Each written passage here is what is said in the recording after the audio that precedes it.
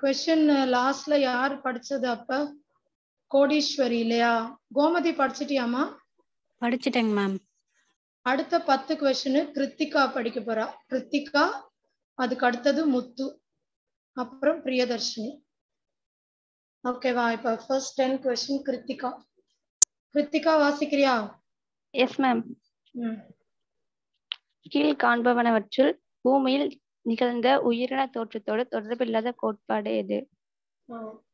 உயிரின தோற்றத்தோடு இதுல எதுல வந்து எந்த தியரி வந்து ஆரிஜின் ஆஃப் லைஃப் இல்ல அப்படின்னு சொல்லுது? கரெக்டா சொல்லுங்க பாக்கலாம் எதுமா?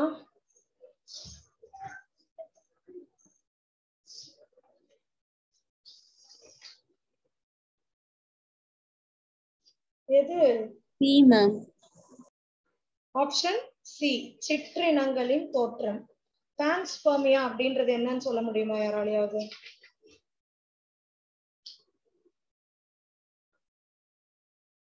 கொஞ்சம் இன்டராக்டிவா இருந்தா தாண்டா செஷன் நல்லா இருக்கும் நீங்க டவுட் இல்லைன்றீங்க.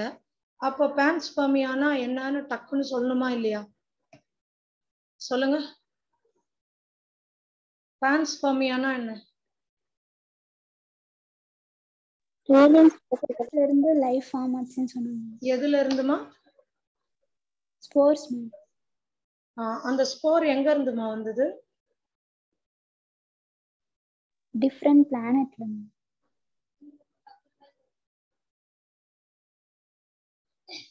ஸோ டிஃபரண்ட் பிளானட் வேற்று கிரகத்துல இருந்து நம்ம கிரகத்துக்கு உயிரினங்கள் வந்திருக்கலாம் அப்படின்னு சொல்றதுதான் பான்ஸ்பர்மியா அல்லது காஸ்மோசோயிக் தியரி தான் தோன்றல்னா ஸ்பான்டேனியஸா வந்துச்சு அப்படின்னும் சொன்னாங்க. ஸ்பான்டேனியஸ் ஜெனரேஷன் வேதி பரிணாம கோட்பாடு. இது யார் சொன்னாங்க? கெமிக்கல் எவல்யூஷன்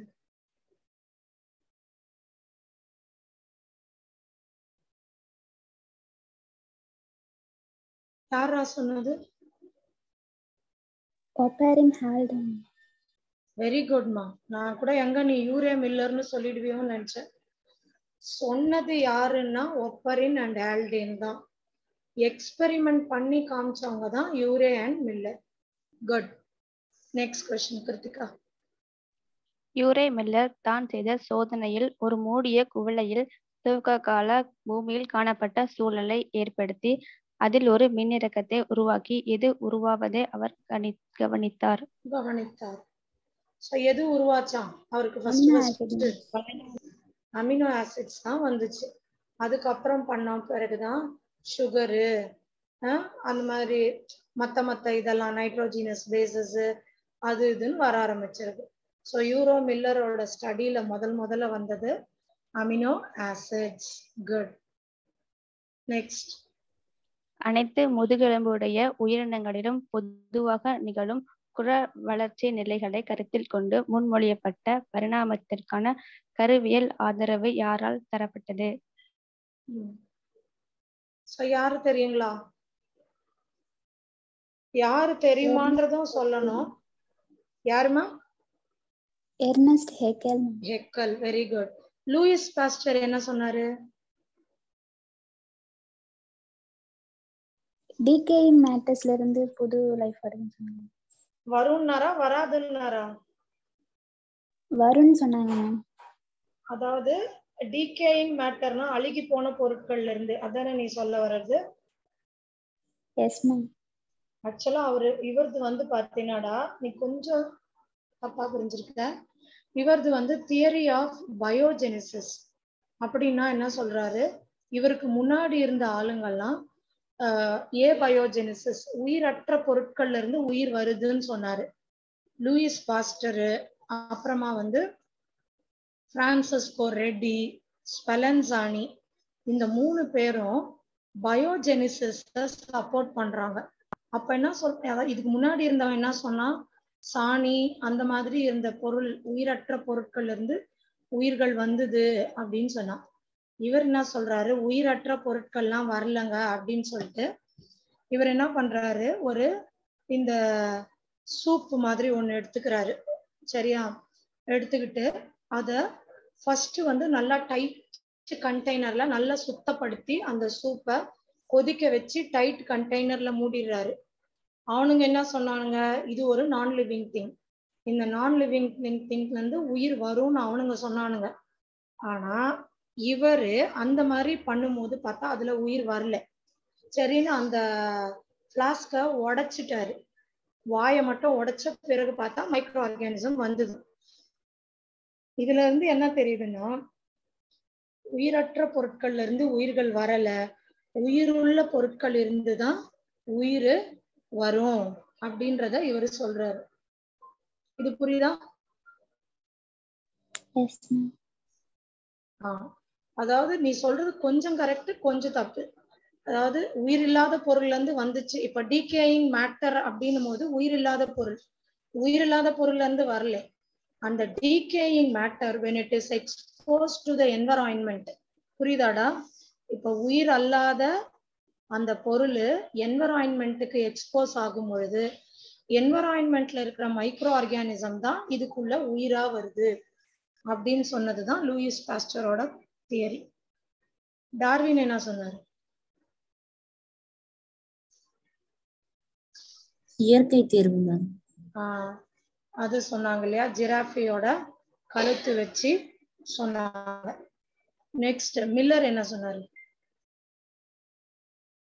இப்பதான் பாத்தீங்க கெமிக்கல் எவால்யூஷன் எக்ஸ்பெரிமெண்டலா செஞ்சாரு. ஸோ ஆனஸ்ட் எக்கல் தான் எம்ப்ரியாலஜிக்கல் எவிடன்ஸ் பத்தி சொன்னாரு. என்னன்னு சொன்னாருன்னா நம்ம வந்து இந்த ஒரு சின்ன எபிசோடா எம்ப்ரியோவா இருக்கும்போது நம்மளோட முற்காலம் எவல்யூஷன்ல நடந்த விஷயத்தெல்லாம் வாழ்ந்து பார்த்துட்டோமா இப்ப உதாரணத்துக்கு ஒரு மனித எம்ப்ரியோ இருக்கு. அந்த எம்ப்ரியோல கூட பாத்தீங்கன்னா உங்களுக்கு கில் ஸ்லிட்ஸ் இருக்கும். கில் ஸ்லிட் யாரோடதுன்னா நம்மளோட மீனோடது. அதே மாதிரி மனித எம்ப்ரியோல வால் இருக்கும். வால் யாரோடது? நமக்கு முன்னாடி இருந்த ரெப்டைல்ஸ் இவங்களோட விஷயம். இது புரியுதா? அதான் இவர் சொன்னாரு. நெக்ஸ்ட் கொஸ்டின் அனைத்து முதுகெலும்புடைய உயிரினங்களில் கருவில் தலைக்கு பின்னால் உள்ள அடிச்சுவட்டு கீழ்ப்பிளவு எந்த உயிரில் மட்டும் செயல்படும் உறுப்பாக திகழ்கிறது? கரெக்டா சொல்லுங்க. கில் ஸ்லிட்ஸ் இவங்கள யாருக்கு செயல்படுது? ஆப்ஷன்லாம் சொல்லக்கூடாது. என்ன ஆன்சரோ அதான் சொல்லணும் ஏன் தெரியுமா? நீங்க சொல்ற பியும் டியும் எனக்கு ஒரே மாதிரி கேக்குது. அதுக்குதான்.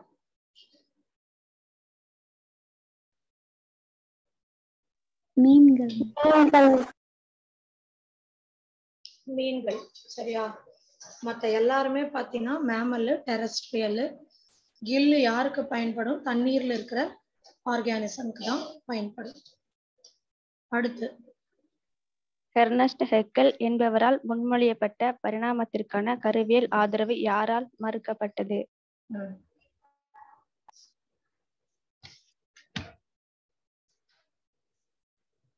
யாருமா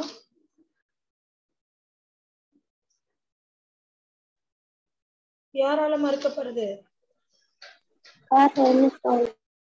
ஆமா வான் ஆக்சுவலா வான் பார்ன்னு தமிழ்ல இருக்கு. பட் இங்கிலீஷ்ல வான் போயர்னு சொல்லுவோம். ஸோ இவர் சொன்ன இந்த கருத்தை கொஞ்சம் அவரு இது பண்ணாரு. சரியா? ம்? கொஞ்சம் அகேன்ஸ்டா சொல்லி அப்புறம் அந்த தியரிய அவர் அப்படி மாத்தி எழுதினாரு. வான் பேயர் அப்படின்னு சொல்லுவோம் அவர் பேரு. மத்த ஆளுங்கள் தான் உங்களுக்கு ஏற்கனவே தெரியும். லமார்க்கோட theory giraffe Charles Darwin Darwin finches Miller பத்தி இப்பதான் படிச்சோம். நெக்ஸ்ட் இந்த கொஸ்டின் இல்லாத பேப்பரே கிடையாது. இது கண்டிப்பா வரும். பின் வருவனவற்றுள் ஆ. எது? விரிநிலை பரிணாம வளர்ச்சி அல்லது உறுப்பு ஒற்றுமையை கொண்டிருப்பது இல்லை. இல்லை. விரிநிலைனா டைவர்ஜென்ட் எவல்யூஷன் அதாவது ஹொமாலஜி எது இதுல கிடையாது. ஆப்ஷன் சி வெரி குட் ஏன்னா அது கன்வர்ஜென்ட் இல்லையா? ஆக்டோபஸின் கண்கள் கன்வர்ஜென்ட் எவல்யூஷனுக்கு ஒரு உதாரணமா வரும். நெக்ஸ்ட் புவி பரிணாம. செயலொத்த அமைப்புகள் அல்லது குவி பரிணாம வளர்ச்சியை கொண்டிராதது ம். எதுமா? தாவரத்தின் பற்று கம்பி ஆமா. ஏன்னா இதுவும் வந்து கன்வர்ஜென்ட் தான். சக்கரவள்ளி கிழங்கு உருளைக்கிழங்கு. ஆரிஜின் டிஃபரெண்ட்டு இவர் ஸ்டெம்மு இவர் ரூட்டு ஆனால் ரெண்டு பேருமே பண்ணுற ஃபங்க்ஷனு ஸ்டோரேஜ் உணவை சேமித்தல். சரிங்களா? அதே மாதிரி பெண்குவின் பறவை இனம். டால்ஃபின் வந்து பாலூட்டிகள் மேமல் பட் ரெண்டு பேருமே பண்ணுறது பார்த்தீங்கன்னா ஸ்விம்மிங் சரியா? ஸோ இதுதான் வந்து குவி பரிணாமம் இல்லை. இது வந்து விரி பரிணாமம் ஓகே நெக்ஸ்ட் டார்வினின் குருவிகள் என அழைக்கப்படுபவை. கருப்பு. கருப்பு குருவிகள். டார்வின் ஸ்பின்ச்சஸ் கரெக்ட் நெக்ஸ்ட் டார்வினின் பரிணாம கோட்பாட்டில் உள்ள முக்கிய அம்சங்கள் எவை? எது? எதுமா? ரெண்டு விஷயம் அவர் ரொம்ப முக்கியமா சொல்லியிருப்பாரு. ஒன்னு நேச்சுரல் செலெக்ஷன் இன்னொன்னு பிரான்ச்சிங் டீசன்ட் ஸோ ரெண்டுமே ஏவும் பியும் சேர்ந்தது சரிங்களா? பிரான்ச்சிங் டீசன்ட் பரம்பரை பரம்பரையா அந்த கேரக்டர் வரும்ன்றது. ரெண்டாவது ஒரு வேரியேஷன் ஒன்று இருக்குன்னா இயற்கை தான் அதை தேர்வு செய்யும். இந்த வேரியேஷன் இருக்கணுமா வேணாவா அப்படின்றதன்னு சொல்லியிருப்பாரு. நெக்ஸ்ட் இனத்தொகையில் அளவானது வளங்கள் அனைத்தும் கிடைக்கும்போது அதன் வளர்ச்சி எவ்வாறாக இருக்கும்? இது ஆனா இந்த லெசனோட கொஸ்டின் இல்லையே. இது ஆர்கானிசம் அண்ட் பாப்புலேஷனுக்கு வரலாம். சரி பரவாயில்ல. உங்களுக்கு தெரிஞ்சதுதான். சொல்லுங்க. ஒரு பாப்புலேஷன்ல நிறைய ரிசோர்ஸ் உணவு பிளேஸ் இதெல்லாம் நிறைய கிடைச்சுக்கிட்டே இருந்தா growth இருந்துகிட்டே இருக்கும். அப்படிதானடா ஸோ இந்த கிராஃப் பாருங்க. இந்த பக்கம் இந்த ஆர்கானிசமோட வளர்ச்சி. இந்த பக்கம் வளர்ச்சி இந்த பக்கம் ரிசோர்ஸ் ரிசோர்ஸ்னும் போது உணவு எல்லாமே சொல்லலாம். இப்போ அந்த மாதிரி இது கிடைச்சிக்கிட்டே இருந்ததுன்னா வளர்ச்சி இருந்துகிட்டே இருக்கும். அப்படிதானே? சொல்லுங்க. ஆஹ் அப்ப இத என்ன growthன்னு சொல்லுவோம். Growth. Ma'am. Very good exponential growth. ஆனா இது வந்து இயற்கையில சாத்தியம் கிடையாது. இப்ப நம்ம கூட சொல்லலாம். நீங்க கூட சொல்லலாம். இன்னைக்கு ஃபுல்லா நான் டுவெல்த்து முடிச்சிருவேன்ப்பா. காலையில ஒன் ஹவர்ல ரீப்ரொடக்ஷனு அப்புறமா அடுத்த ஒன் ஹவர் ஜெனட்டிக்ஸ் அடுத்த ஒன் ஹவர் இது பண்ணிடுவேன் ஆர்கானிசம் பண்ண அப்படி சொல்லலாம் வாயில. அஞ்சு ஹவர்ல மொத்த லெசனே முடிச்சிருவேன்னு. ஆனா அதெல்லாம் சாத்தியம் இல்லை. அது போலதான் இயற்கையான ஒரு பாப்புலேஷன்ல எக்ஸ்பொனன்ஷியல் growth அவ்வளவா சாத்தியம் இல்லை. ஏன்னா இங்க வந்து உங்களுக்கு ஒருத்தர் நடுவுல ஒருத்தர் வந்துடுறாரு. யார் இவரு? இவருக்கு என்ன பேரு? கேரியிங் கெப்பாசிட்டி கேரியிங் கெப்பாசிட்டினா ஒண்ணு இடம் பற்றாக்குறையா இருக்கலாம். நீங்க கூட சொல்லுவீங்க காலைல சாயங்காலம் படிச்சிடுவேன்னு ஆனா படிக்க முடியாது. பாடி சம்டைம்ஸ் டயர்ட் ஆகும் பசிக்கும் கொஞ்சம் தூங்கணும் ரெஸ்ட் எடுக்கணும் இப்படிலாம் நிறைய இருக்க மாதிரி ரிசோர்சஸ் பத்தாது. சரிங்களா? சாப்பாடு பத்தாம போறதுதான் இயற்கை.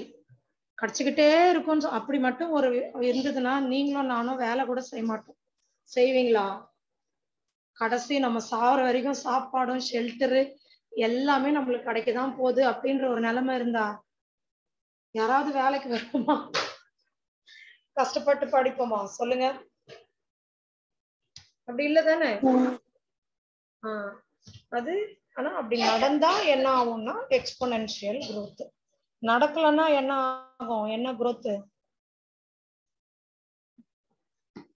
நடக்கலன்னா இந்த குரோத்துக்கு பேரு இப்படி வந்து இதோ இப்படி ஸ்டாக்னண்டா நின்னுடும் நின்னுடுச்சுன்னா அதுக்கு பேரு லாஜிஸ்டிக் குரோத் இது ஆனா இந்த லெசன் கிடையாது. நெக்ஸ்ட் போறேன்.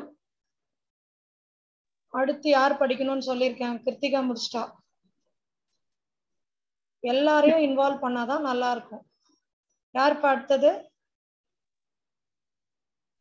முத்து மேம் முத்து. படிமா. ஏன் தெரியுமா? உங்களோட எல்லார் வாய்ஸும் எல்லார் பேரும் நான் கேட்கணும்னு ஆசைப்படுறேன். அதனாலதான் உங்களை எல்லாரையுமே இன்வால்வ் பண்றேன். இல்லைன்னா ஒருத்தர் படிக்கட்டும்னு மற்றவங்க எல்லாம் விட்டுடுவீங்க முத்து படிமா. மரபு வழி காரணிகள் அதன் புறத்தோற்றத்தில் செல்வாக்கை செலுத்துவதாக எடுத்து கூறியவர் யார் ஸோ மரபு வழி காரணிகள் ஆ. அதாவது ஜெனட்டிக் ஃபேக்டரு வெளியில இருக்கிற phenotypic கேரக்டர்ல சேஞ்சஸ் பண்ணிடுது அப்படின்னு சொன்னவர் மெண்டல் இதுவும் இந்த லெசனுக்குரிய கொஷின் இல்லை. இது பிரின்சிபல் ஆஃப் இன்ஹெரிட்டன்ஸ்ல வரும். பட் நீங்க தெரிஞ்சுக்கிறது நல்லதுதான். நெக்ஸ்ட் ஆர்டி வெயின்பர்க் கோட்பாடு பற்றிய கூற்றுகளில் தவறான இல்ல சரியானது. எது சரின்னு கேக்குறாங்கடா. தவறா கேக்குது. சரிதானே கேக்குது. சரிதான். ஆ. மேற்கூறிய அனைத்தும் மேம். மேற்கூறிய அனைத்தும் இல்லையா? எல்லாமே கரெக்ட் தான். அதிர்வெண் நிகழ்வெண் ஆனது நிலையானது. அடுத்த தலைமுறை வரை நிலையானது. தொகுப்பு நிலையானதாக உள்ளது. ஆடி வெண்ப சமநிலை சடுதி மாற்றத்தால் பாதிக்கப்படுகிறது. சமநிலைனா ஈக்குவலிபிரியம் ஸ்டேட்டு ஏதாவது மாற்றம் ஆச்சுன்னா கண்டிப்பா மாறும்னு சொல்றாங்க. கரெக்ட் நெக்ஸ்ட் நிலப்பகுதியில் முதன் முதலில் ஆக்கிரமிப்பு செய்த முதல் உயிரினம். யாருமா? முதல் முதல்ல நிலப்பரப்புக்கு வந்தவங்க த பிளான்ட். ஆம்பிபியன்ஸ் ஆ தாவரங்கள்ல யாருன்னு கேட்டா யார் சொல்லணும்? பிரயோஃபைட்ஸ் தான் பிளான்ட் ஆம்பிபியன்ஸ் முதல் முதல்ல நிலத்துக்கு. நிலம்னா ஃபுல் நிலம் வரல. அப்படி கொஞ்சம் அந்த பாறைகள் கிட்ட தண்ணிக்கு பக்கத்துல ஏன்னா வந்து அவங்க ரீப்ரொடக்ஷனுக்கு தண்ணியை எதிர்பார்ப்பாங்க. தண்ணியை விட்டு ரொம்ப தூரம் போனவங்கன்னா கொஞ்சம் டெரிடோஃபைட்ஸ் தான். பக்கத்திலேயே இருந்தவங்க பிரயோஃபைட்ஸ் அதனால தான் அவங்கள ஆம்பிபியன்னு சொல்லுவோம். நெக்ஸ்ட் சை சைகோட்கள் இருவித்திலை தாவரங்கள் ஒருவித்திலை தாவரங்கள் இவை அனைத்தும் எந்த தாவரங்களிலிருந்து பரிணாமித்தன? So monocot and dicot plants எதுல இருந்துமா வந்துச்சு?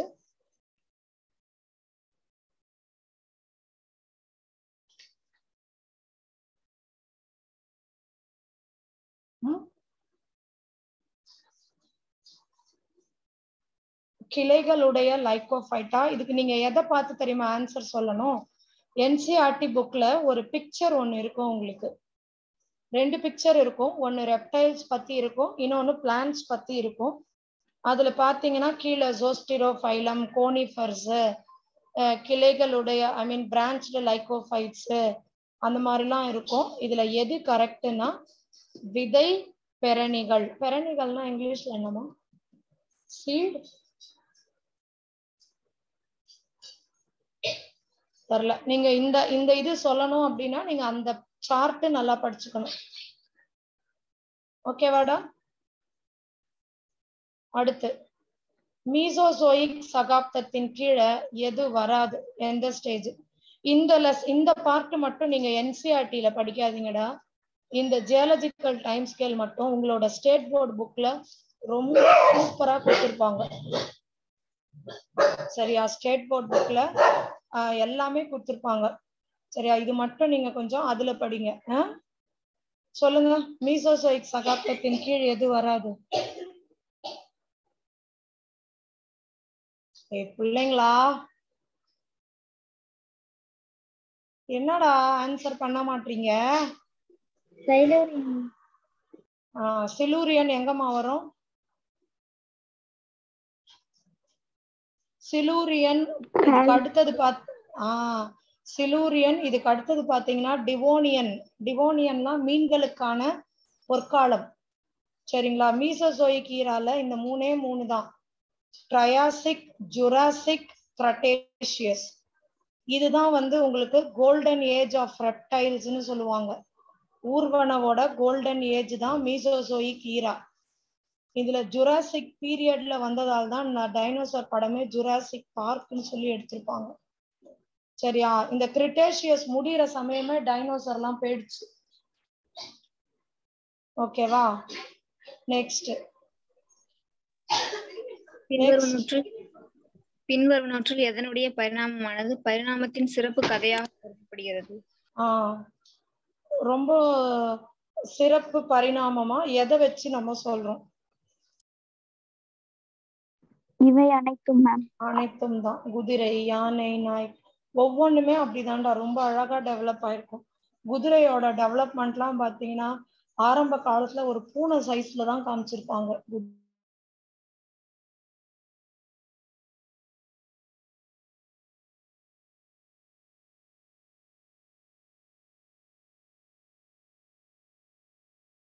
குதிரைய. ஆஹ் அந்த மாதிரி மியோ இப்பஸ் மேரி சிப்பஸ் அப்படின்னு அதோட இருக்கும். அந்த காலெல்லாம் அப்படி அதுக்கு இருக்குல்ல அந்த மாதிரி எல்லாம் இருக்கும். முதல்ல பாத்தீங்கன்னா சின்னதா அப்படிதான் இருக்கும்.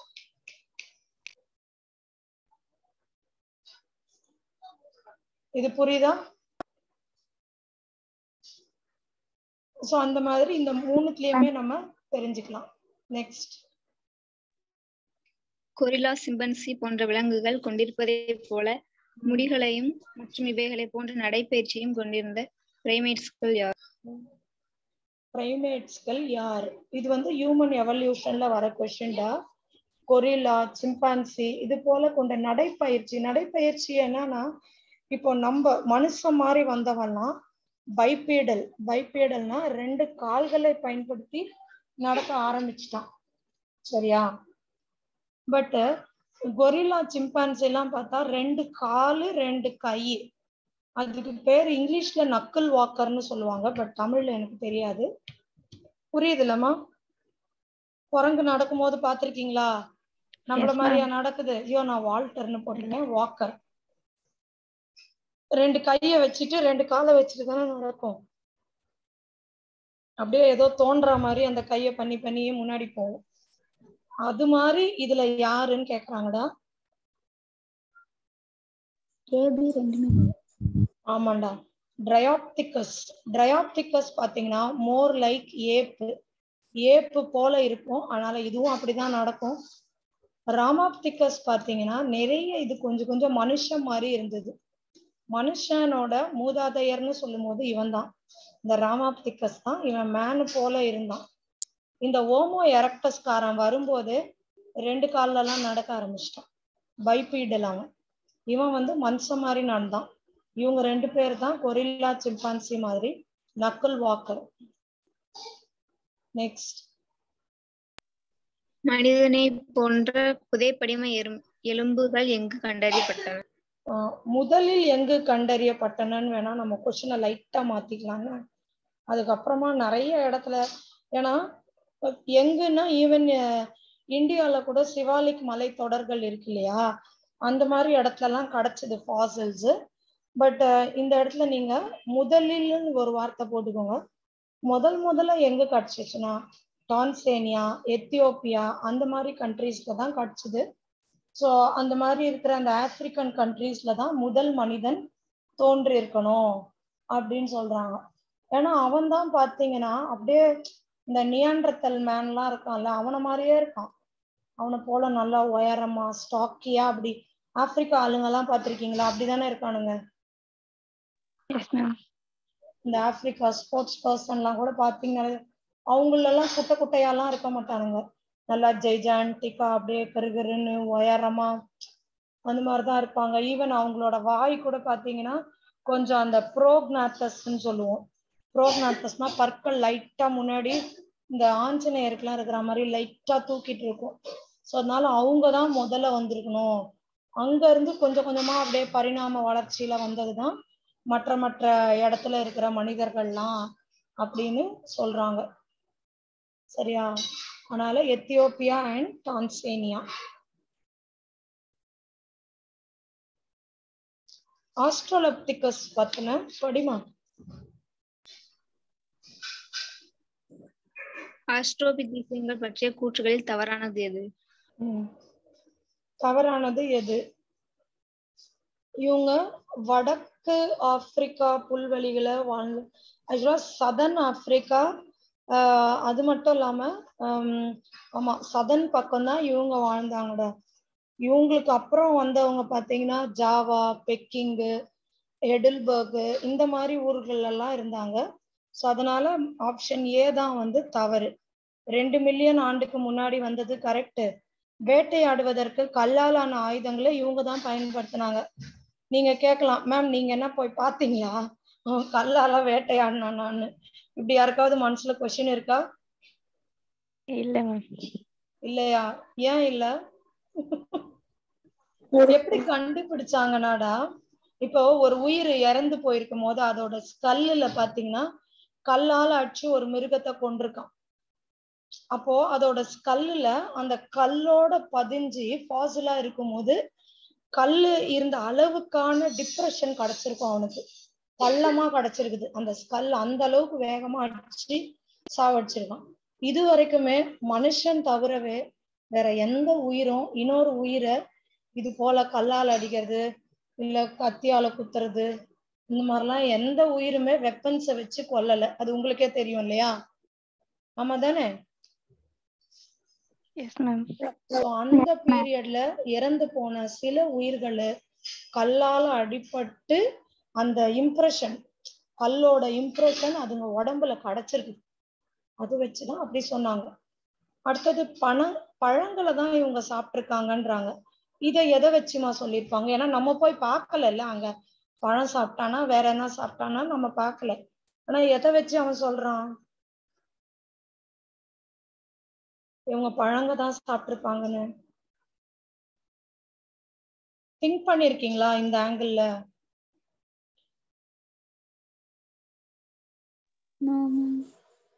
எதை வச்சு சொல்றான்னா கோரை பற்கள் தானே கெனைன்ன்றது.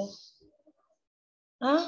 கிழிக்கிறதுக்கெல்லாம் பயன்படுறது. கோரை பற்கள் தானே. கரெக்டா தமிழ்ல நான் கரெக்டா சொல்ல தெரியல. இங்கிலீஷ்ல அதுக்கு பேரு கெனைன்ஸ்ன்னு சொல்லுவோம். இந்த கெனைன் வந்து பிற உயிர்களை கிழிச்சு கொதறி சாப்பிடுறவங்களுக்கு பாத்தீங்கன்னா நீட்டமா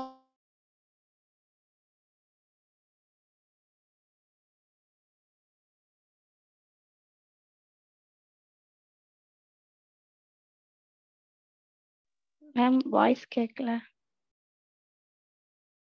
இருக்கும். புலி சிங்கம் அதுக்கெல்லாம் பாருங்க எப்படி இருக்கு. அவன் படிக்கிறான்னா அவன் நினைச்சுப்பான் நம்ம வெறும் பழம் தான் தின்றுருக்கோம்னு. ஏன்னா நம்ம கிணையினா அவ்வளவு சின்னதா தான் இருக்குது. புரியுதா?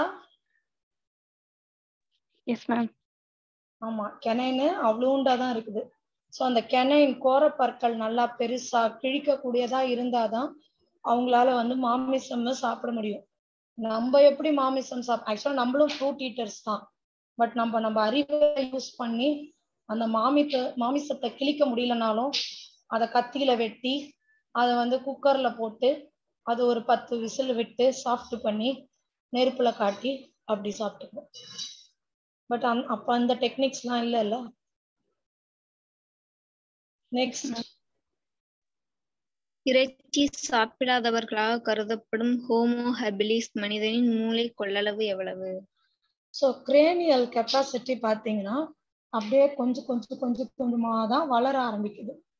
சரிங்களா? ஸோ மனித எவல்யூஷன்ல நம்மளுக்கு ஹோமோ ஹெபிலிஸ் அதுல இறைச்சி சாப்பிடாதவங்களது எவ்வளோ இருக்கும்னா அறுநூத்தி ஐம்பதுல இருந்து எட்நூத்தி ஐம்பது ஸ்பீசிஸ் இருந்திருக்குது. சரியா? எஸ் மேம் ஆஸ்ட்ரலாப்டிகஸ் அப்புறம் ஓமோ ஹெபிலிஸ் வருவான். அப்புறம் ஓமோ எரெக்டஸ் அதான் சொன்னேன் ஜாவா பெக்கிங் எடில்பர்க் இவனுங்கெல்லாம் போன பிறகுதான் இந்த side Neanderthal man Cro-Magnon modern மேனுன்னு மனுஷ ஆளுங்க வருவானுங்க. Next next Homo Homo erectus வகை மனிதர்கள் பற்றிய தவறான கூற்று எது?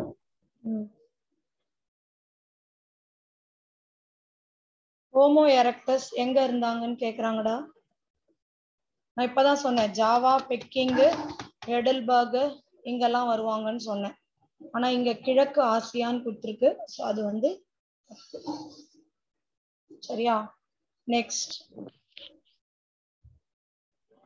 நியாண்டர்தால் வகை மனிதனை பற்றிய கூற்றுகளில் சரியானது எது? எது சரின்னு கேக்குறாங்க. சரியா?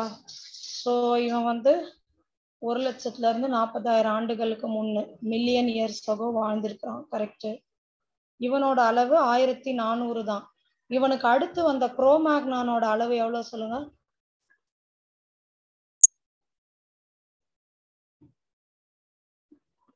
ஆயிரத்தி அறுநூத்தி ஐம்பதுமா?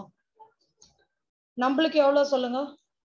ஸோ ஃபர்ஸ்ட் நியாண்ட்ரத்தல் அடுத்தது குரோமேக்னான் அடுத்தது நம்ம மாடர்ன் மேன் ட்ரூ மேன் இதுல இவனுக்கு ஆயிரத்தி நானூறு கரெக்ட் இவங்க ரெண்டு பேர்ல குரோமேக்னானுக்கு இப்பதான் சொன்னேன்.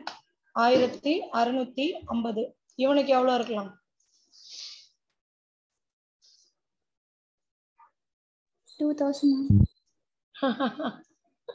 ஆக்சுவலா இல்லடா. நமக்கு பாத்தீங்கன்னா ஜஸ்ட் ஆயிரத்தி நானூத்தி ஐம்பது தான் நமக்கு முன்னாடி இருந்த இவன் தான் புத்திசாலி. அவன் புத்திசாலின்றத நம்ம எப்படி தெரிஞ்சுக்கணும்னா அந்த குகை கேவாட்ஸ் குகையில எல்லாத்தையும் அழகா வரைஞ்சி வச்சுட்டு போயிட்டான் அவன். அதை வச்சுதான் நம்ம தெரிஞ்சுக்கிட்டோம். சரியா? ஆனா அதுக்கப்புறம் இருக்க இப்ப நம்மளுக்கு இவ்வளவுதான். இவனை விடவே நம்ம கொஞ்சம் மக்குங்க தான் சரியா? இவன் தான் ரொம்ப புத்திசாலி. ஓகே நெக்ஸ்ட் நெக்ஸ்ட் யாருடா படிக்கணும்? இருபத்தி மூணுல இருந்து பின்வருவனவற்றுள் எந்த. வகை மனிதன் அனைத்து கண்டங்களையும் கடந்து சென்றதாக நம்பப்படுகிறது. எல்லா கான்டினென்ட்ஸையும் தாண்டி எந்த மனிதன் போயிருப்பான் அப்படின்னு சொல்றாங்க. Homo sapien ma'am. ஆமா நம்ம தான் ஆக்சுவலா நம்ம ஹோமோ செப்பியன்னா இல்ல ஹோமோ செப்பியன் செப்பியன்னா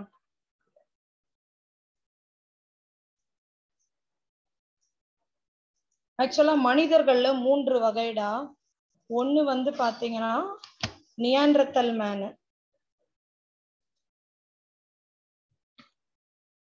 இன்னொருத்தன் வந்து குரோமேக்னான் நம்ம தான் உண்மையான மனிதன் ட்ரூமேன் இந்த நியாண்ட்ரத்தல் மேனை எப்படி சொல்லுவீங்கன்னா இவனையும் ஓமோ செப்பியன் தான் சொல்லுவோம்.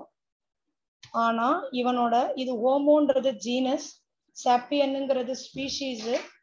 இதுக்கப்புறம் சப்ஸ்பீஷீஸ் இருக்குது. அது வந்து நியாண்ட்ரத்தலன்சஸ் இவனுக்கு சொல்றது.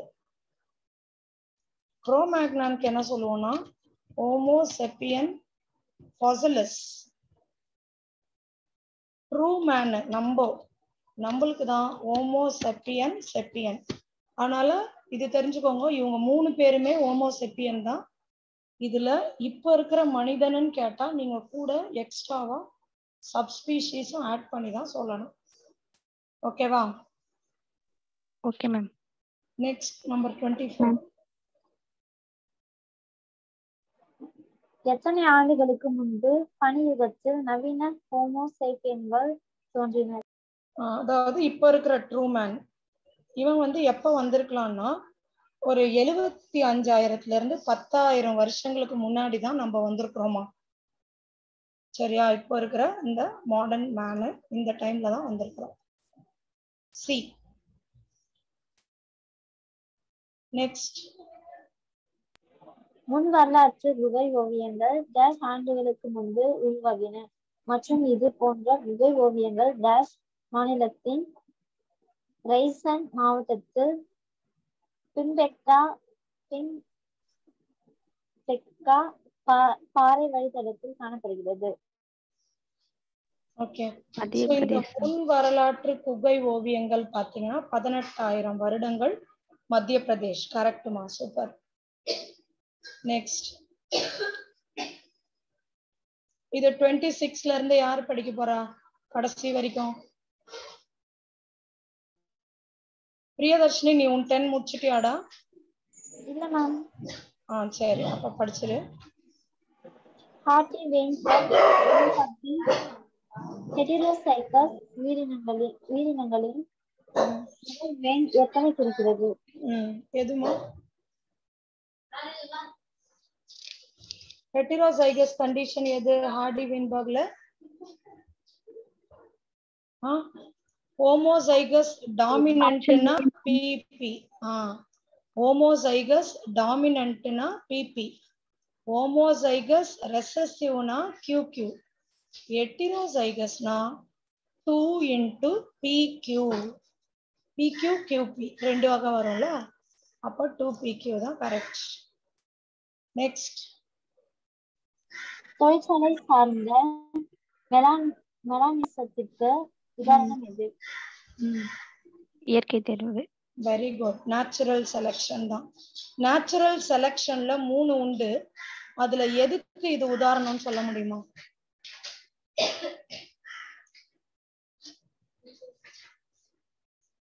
Three types of natural selection is there என்னென்ன டைப்ஸ் ஆஃப் நேச்சுரல் செலெக்ஷன்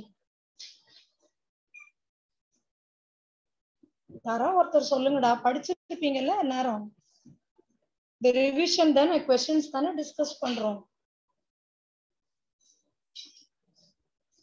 பாரு டீப்பா கேட்டா சொல்ல மாட்டேங்கிறீங்க. அன்பரசு நீ சொல்லுப்பா பார்க்கலாம்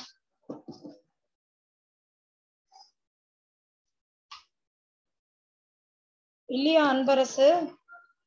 ஆன் பண்ணிட்டு எங்கேயா போயிட்டியா? இருக்க மேம். ம் சொல்லு பார்க்கலாம் நேச்சுரல் செலெக்ஷன் இயற்கை தேர்வு முறை மூணு.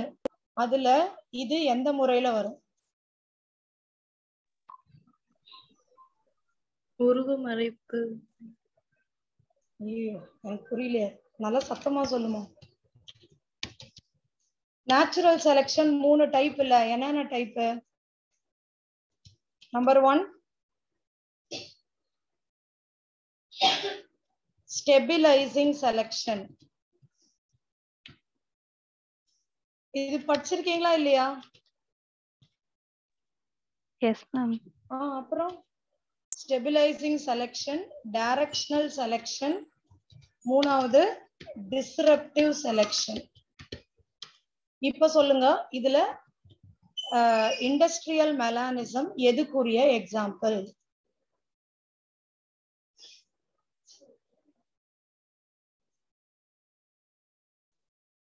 என்னடா எதுவுமே சொல்ல மாட்டீங்க.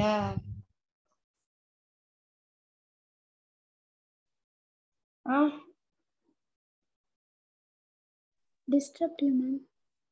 தப்பு எம்எஸ்ரீ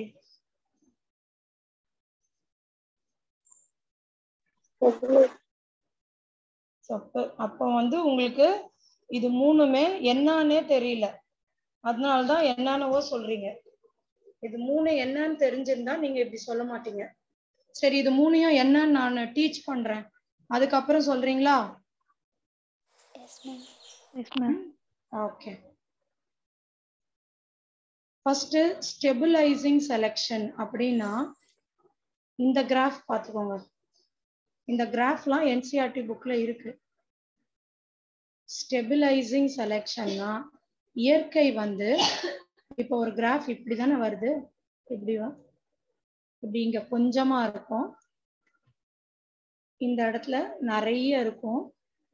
இங்க கொஞ்சமா இருக்கும். இயற்கை வந்து இ- இந்த ரொம்ப கொஞ்சூண்டையும் செலக்ட் பண்ணாது. இது வந்து டூ தௌசண்ட் நைன்டீன்ல கேட்ட பிஒய்க்கு ரொம்ப கொஞ்சத்தையும் செலக்ட் பண்ணாது ரொம்ப அதிகத்தையும் செலக்ட் பண்ணாது. யார் ஆவரேஜோ இவங்கள செலக்ட் பண்றதுக்கு பேர் தான் ஸ்டெபிலைசிங் செலெக்ஷன் இதுக்கு ஒரு எக்ஸாம்பிள் பர்த் வெயிட் பிறக்கும் போது இருக்கிற அந்த எடை. பிறக்கும் போது ஒரு குழந்தை ஒரு கிலோ இருந்தாலும் உயிர் வாழ்வது அல்ல. நாலரை கிலோ அஞ்சு கிலோ இருந்தாலும் கஷ்டம். பட் அந்த குழந்தை மூணுல இருந்து மூன்றரை கிலோ இருந்தா உயிர் வாழுது. இது இது மாதிரி நேச்சர் செலக்ட் பண்ணிருக்கு. புரியுதா? ஆவரேஜ் பெனிஃபிட் ஆவாங்கன்னு அர்த்தம். இதுதான் ஸ்டெபிலைசிங் அடுத்து டைரக்ஷனல் செலெக்ஷன்னா இந்த கிராஃப் என்சிஆர்டி புக்ல இருக்குது. டைரக்ஷனல் செலெக்ஷன் அப்படின்னா இதுவும் வந்து டூ தௌசண்ட் செவன்டீன் நீட்ல கேட்டிருந்தாங்க. ஒரு ஆள் வந்து மாட்டு பண்ணை வச்சிருக்காரு. அவர் வந்து எந்த மாடுகள் நிறைய பால் கறக்குதோ அந்த மாடுங்களை மட்டும் நிறைய உணவு கொடுத்து பாத்துக்கிறாரு.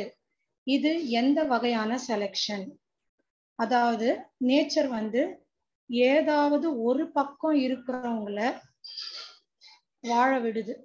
இன்னொரு பக்கம் இருக்கிறவங்கள கண்டுக்கிறது இல்லை. இதுதான் டைரக்ஷனல் அந்த மாட்டு பண்ணக்காரு பண்ணது என்னது?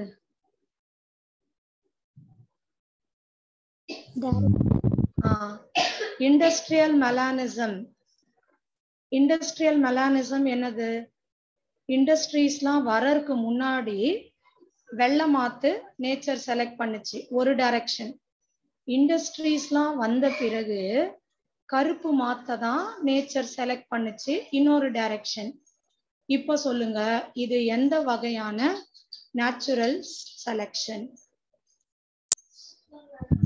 பார்த்து சொல்லுங்க. ஆ. இயற்கை தேர்வுல டைரக்ஷனல் செலெக்ஷன் இன்னொன்னு இருக்குல்ல டிஸ்ரப்டிவ் இதையும் நான் உங்களுக்கு சொல்லிடுறேன். என்னன்னு? டிஸ்ரப்டிவ்னா அப்படியே ஆவரேஜுக்கு ஆப்போசிட்டடா அப்படின்னா என்னன்னா இப்போ நீங்களே எடுத்துக்கோங்களேன். இப்போ உங்கள பரீட்சைக்கு யாரு ரொம்ப தைரியமா போவீங்க? யார் ரொம்ப பயந்து பயந்து போவீங்க? நல்லா ப்ரிப்பேர் பண்ணிருக்காங்க தைரியமா போவாங்க மேம் சரிம்மா. அப்புறம்? சரியா பண்றவங்க பண்ணாதவங்க பயம் இல்ல நீ சொல்றது தப்பு. சுத்தமா படிக்கலல்ல. இவனும் தைரியமா தான் போவான். நான் ஒண்ணுமே படிக்கலடா. சும்மா ஏபி சிடி சிடி ஏதோ போட போறேன். டிப் டிப் டிப் பண்ணி அப்படின்னுவான். அவனும் தைரியமா தானே போவான். அவன் தான் ஒண்ணுமே படிக்கலையாடா. புரியுதா? புரியுதா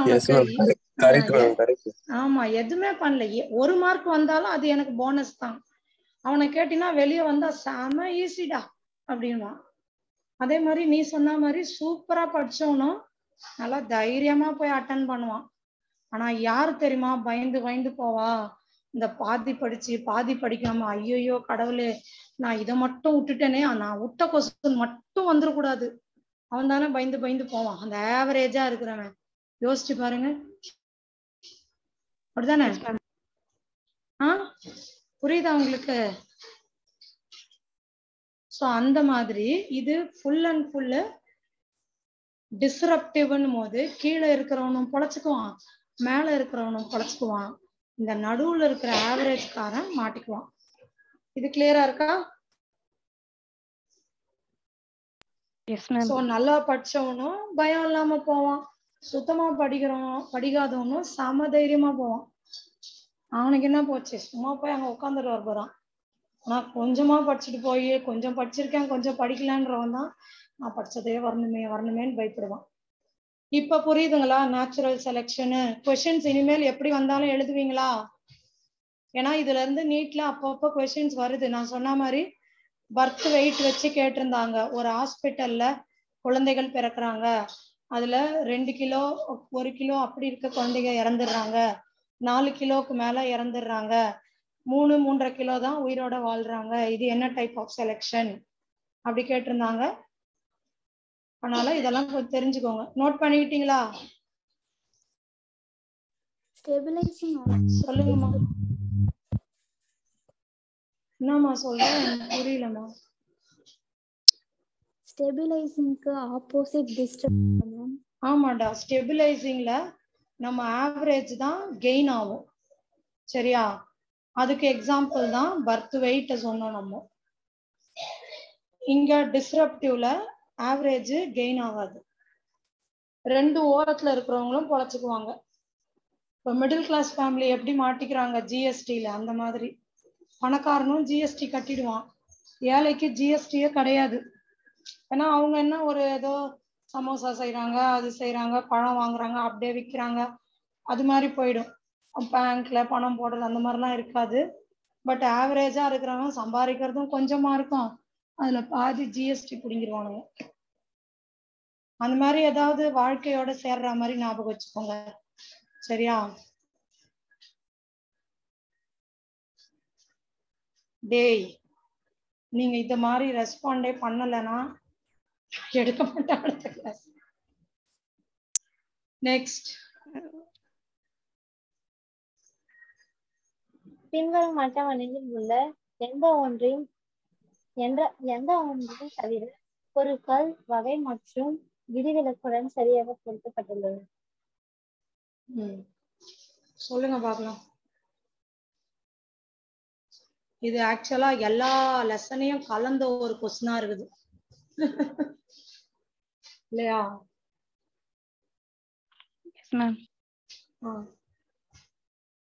உள்ள எந்த ஒன்றை தவிர பொருள்கள் வகை மற்றும் இது சரியாக பொருந்திருக்குன்றாங்க. So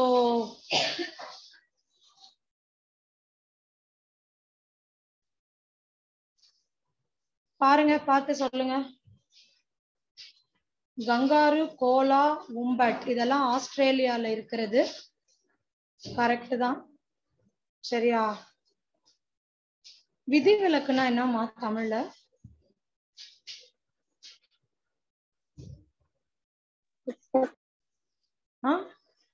exception ma'am okay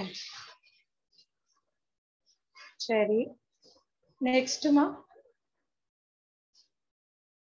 Plasmodium Cuscuta Trypanosoma Plasmodium Trypanosoma Cuscuta protozoa ஒட்டுண்ணிகள்ல இதுல ஒண்ணு புரோட்டோசோவா ஒட்டுண்ணி கிடையாது. யார் அது சொல்லுங்க? ஆஹ் அது வந்து பிளான்ட் பாரசைட் அப்போ பி தான் ஆப்ஷன் பி தான். சரியா? நெக்ஸ்ட் புவி பரிணாம வளர்ச்சி மற்றும் விரி பரிணாம வளர்ச்சி கொடுத்து சரியான உதாரணத்தை தேர்வு செய்க.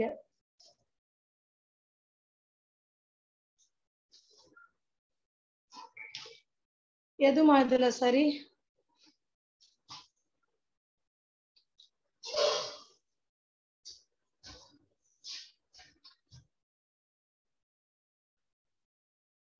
ம். இதுவும் நீட்ல வந்திருந்தது. ஆப்ஷன் ஏ பாத்தீங்கன்னா ஆக்டோபஸ் மற்றும் பாலூட்டிகளின் கண்கள்.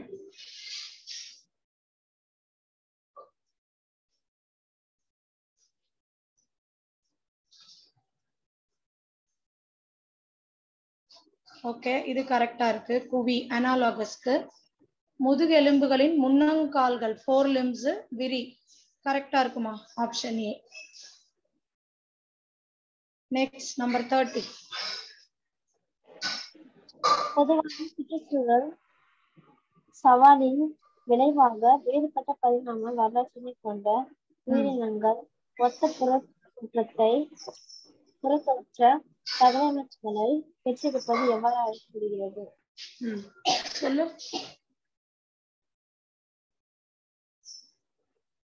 ஒத்த புறத்தோற்ற தகவமைப்புகளை பெற்றிருப்பது எவ்வாறு அழைக்கப்படுகிறதுமா?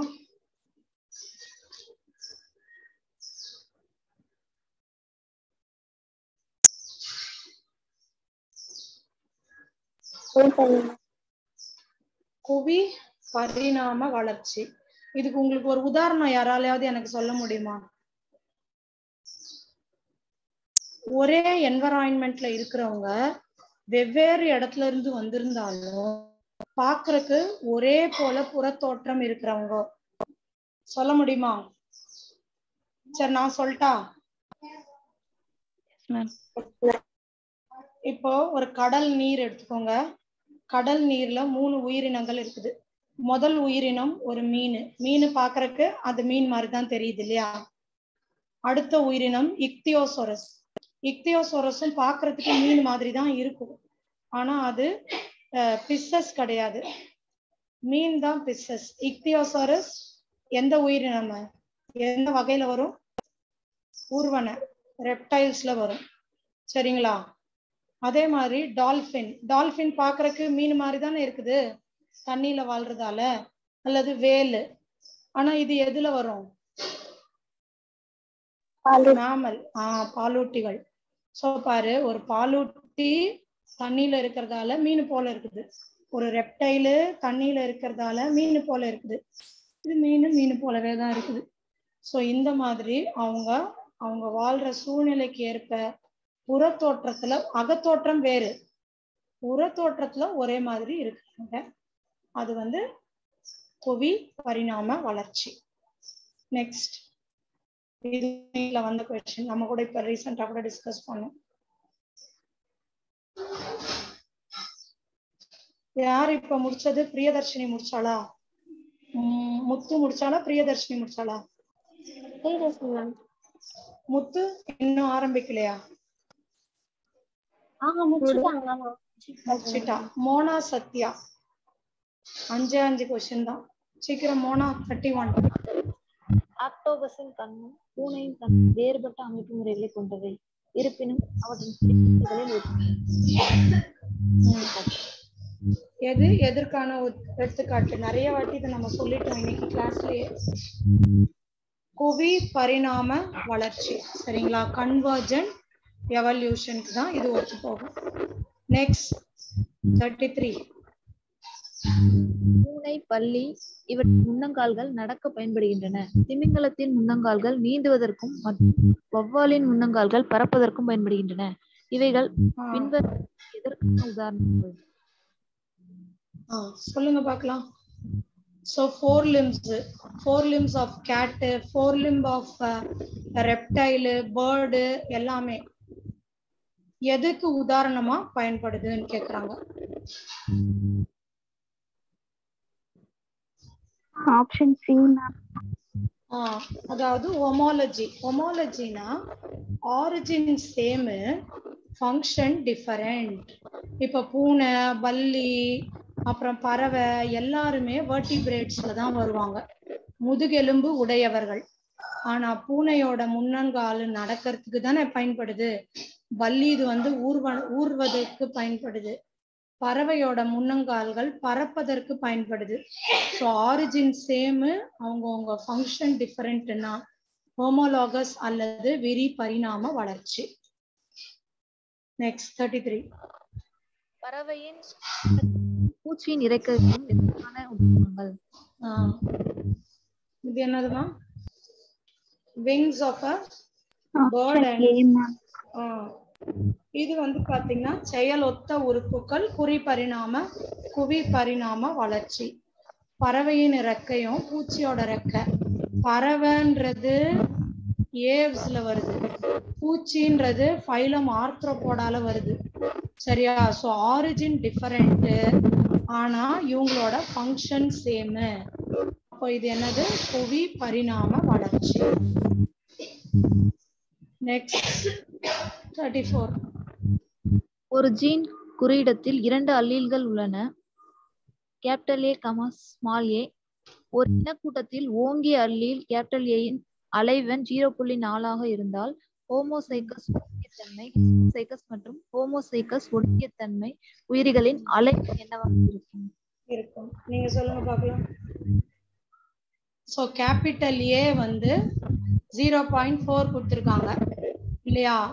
அப்போ கேபிட்டல் ஏ கேபிட்டல் ஏ ஓங்கிய தன்மை ஒரு கேபிட்டல் ஏ ஜீரோ பாயிண்ட் ஃபோர்னா ரெண்டு capital A zero point four into zero point four zero point one six சிக்ஸ்டீன்னு சொல்லக்கூடாது. எப்பவுமே பாயிண்ட்டுக்கு அப்புறம் இருக்கிற நம்பரை பிரிச்சு தான் சொல்லணும். ஜீரோ பாயிண்ட் ஒன் சிக்ஸ் ஒன்று கண்டுபிடிச்சிட்டோம். அடுத்தது எட்டிரோசைகஸ் சரியா? ஆ எட்டிரோ இப்போ இது வந்து ஜீரோ பாயிண்ட் ஃபோர்னா ஏ கேபிட்டல் ஏ அப்போ ஸ்மால் ஏ என்னவா இருக்கும்? ஜீரோ பாயிண்ட் சிக்ஸ் இல்லம்மா? எயிட் இது ஃபோர்மா ஃபோர்னா ஆறு தானே? One minus zero point four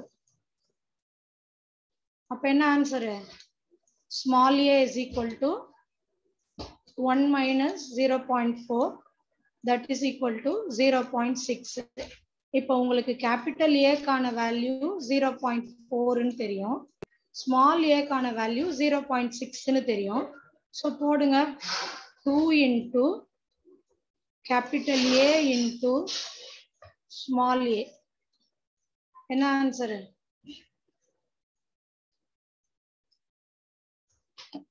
ம் two into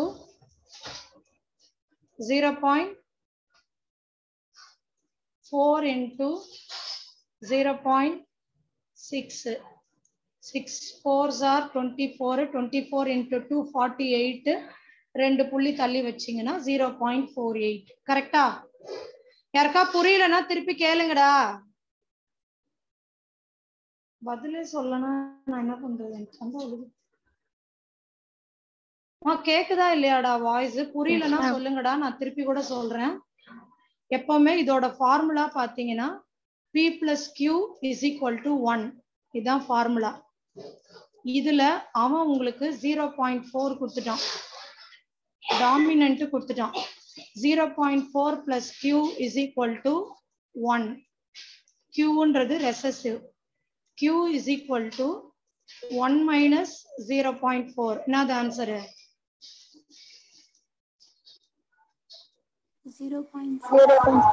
ஆ சிக்ஸ் இப்போ இது வந்து ஃபார்முலா பாத்தீங்கன்னா ஓங்கிய தன்மைக்கு ரெண்டு வாட்டி A capital A capital A எட்டிரோசைகஸ்க்கு two in two P Q இல்லையா? Two into P into Q so two into zero point four into zero point six zero point four eight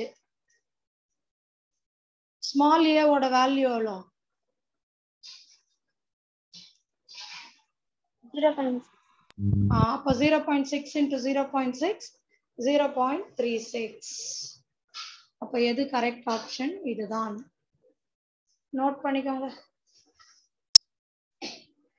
பண்ணிட்டீங்களா?